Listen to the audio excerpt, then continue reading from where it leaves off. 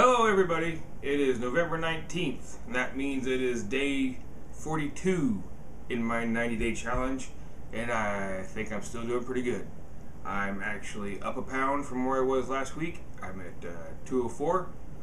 Not too upset about it. I've lost another inch off my chest and about a half inch off my waist and hips, both. So that's pretty cool, I think. My energy is still up. I'm still doing well. My exercises are progressing nicely.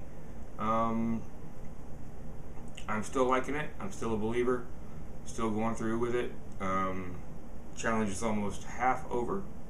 So I'm still setting at about uh, halfway to my goal of losing 20 pounds. Um, I've already uh, met my inches lost goal of five inches.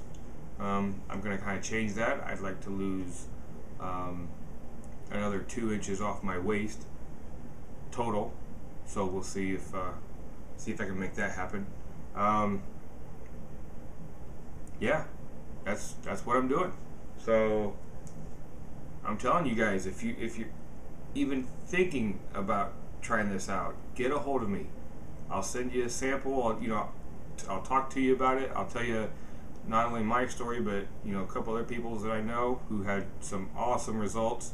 Uh, I know one girl who has just completed her challenge. I know her personally. Um, she completed her 90-day challenge and lost 54 pounds.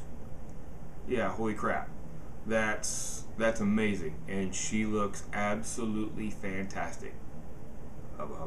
So, um, give me a comment below, like my video, share it with whoever you think needs to be uh, the message brought to, and uh, get a hold of me.